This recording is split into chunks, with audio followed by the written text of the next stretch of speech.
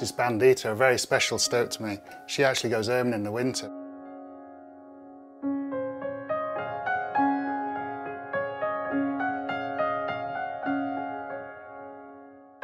But this was her family last year.